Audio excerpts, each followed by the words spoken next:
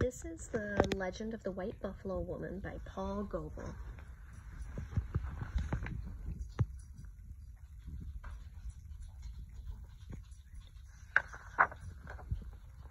The Legend of the White Buffalo Woman by Paul Goble, National Geographic Society out of Washington, D.C. I am going to read the author's note because it is important to understand the story. In the most in this most important of all Lakota and sacred legends, the Great Spirit gave the sacred calf pipe so the people could pray and commune with him. He caused a white buffalo cow calf to be changed into a woman who gave the pipe to the Sans Arcs Lakotas. It established the mystical relationship and love between the people and the buffaloes who lived together in the Great Plains. Oral tradition does not tell when White Buffalo Woman gave the pipe, only that it was at a time of some great change or suffering caused by war or famine. White man's history suggests that it might have been in the late 1600s when the Lakotas were driven out of Wisconsin and Minnesota by their neighbors who had obtained guns and trade. But this may be too recent a date. With the pipe, White Buffalo Woman gave them back hope and direction and a new way to pray.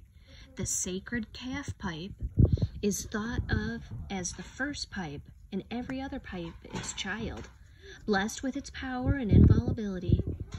There is a pipe at the center of the seven rites in every ceremony. Primarily, it, it is a person's means to be in communion with God. I have taken the legend of the gift of the sacred calf pipe and framed it in with other related myths. I have not illustrated the sacred calf pipe, of which no likeness should be made. The style of clothing illustrated is, is one which has been worn from about the 1870s, and which, with only small changes of fashion, is still worn by traditional dancers at powwows. End of the Old World. Long, long ago, the Great Spirit made it rain day after day, and the water rose, covering everything.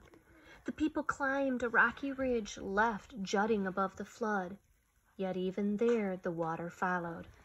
And then the four winds blew, and huge waves broke over the rocks, and all the people were swept away and drowned.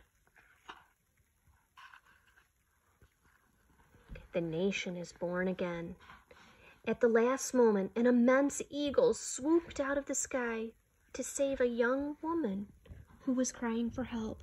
She clutched his feet, and he carried her to a faraway mountain which rose out of the water. They married, and she gave birth to twins, a boy and a girl. From that marriage of a woman of the earth and the eagle of the sky, people had a new beginning and in time grew to become a nation once more. Sadness of war. Many generations passed, and then the people were attacked by enemies. Their houses were burned, and they were forced to leave their homeland in the forests. They fled to the great open plains where there were no trees and where the four winds blew eternally across the circle of the world. Every family mourned relatives who had been killed. Those were sad and frightening times.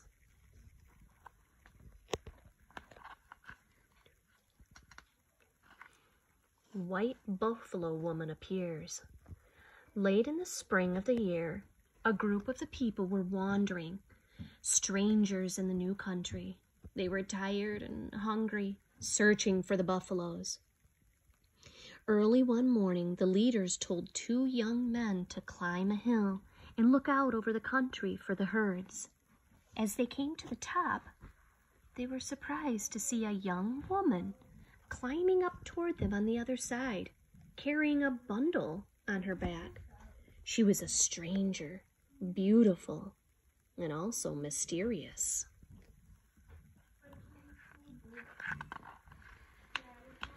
One of the young men whispered bad thoughts, but his friend answered, No, get rid of such thoughts. She must be a holy woman.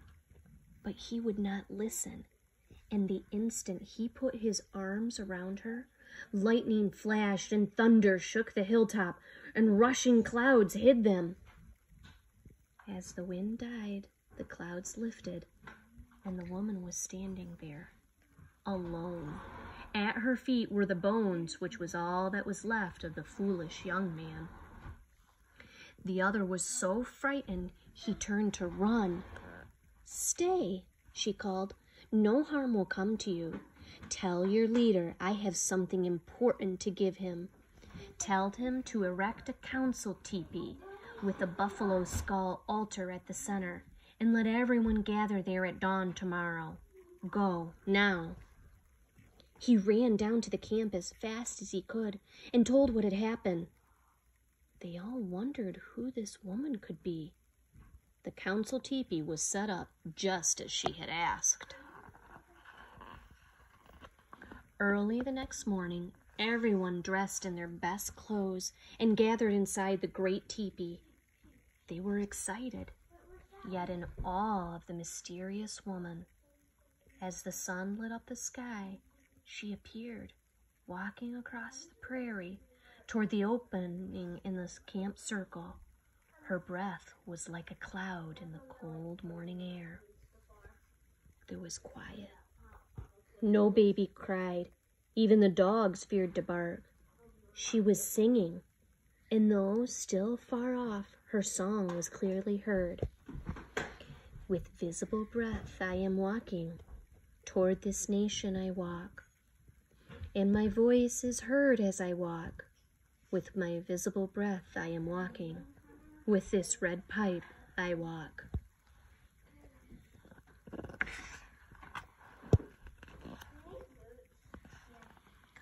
The beautiful woman carried a pipe. She walked to the place of honor where the leader, Buffalo standing upright, invited her to sit. He dipped braided sweetgrass into a buffalo horn cup filled with water for her to sip. Sister, we are glad you have come, he said. She thanked him, and she said to everyone, Wakantanka, the Great Spirit, told my buffalo people to send me to you today. He has seen your tears. He knows you have always tried to do what is right. So he gives you this pipe Pray with it, and you will see your prayers rise up to him with the smoke, and you will know he hears you. The pipe will join nations and families together in love and peace. And so from today, your people and my Buffalo Nation will be one family.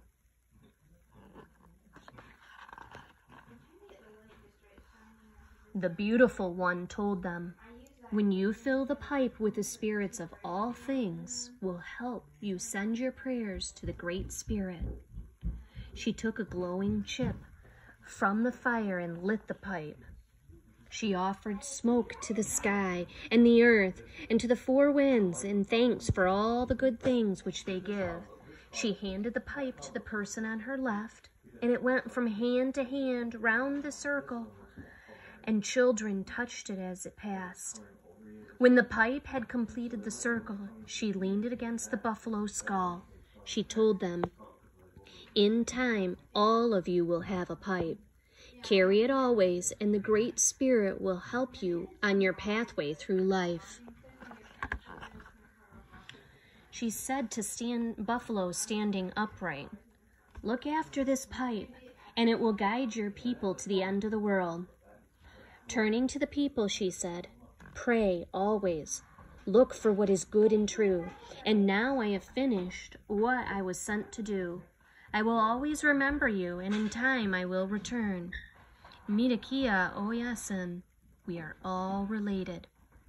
She left the council teepee, stopping three times to turn and look back at them. When she had passed through the opening in the teepee circle, she turned a fourth time and sat down. And then everyone was amazed to see a white buffalo calf jump up and run off to join the buffalo herds. Until that moment, nobody had noticed that the buffaloes surrounded that camp.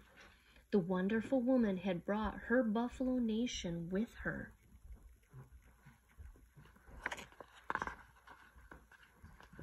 The buffalo path. She is called the white buffalo woman because she changed into a white buffalo calf. Afterwards, her buffalo people gave the red stone so everyone could make pipes. It happened this way.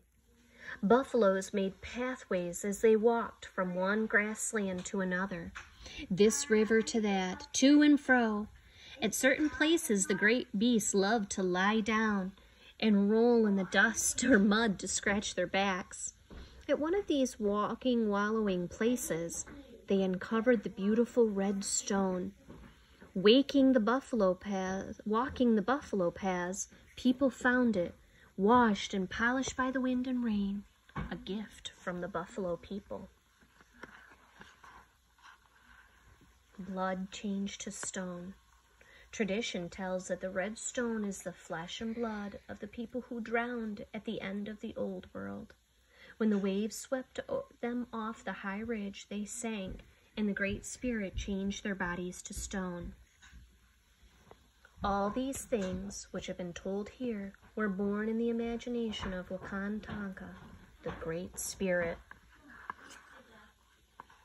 Here are some pictures of some pipes here. We don't have the special calf pipe one. That one they can't draw in pictures. It's not supposed to be represent represented again.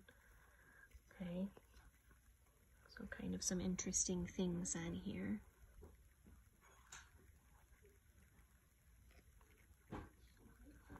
Um, and that's the end of the story there.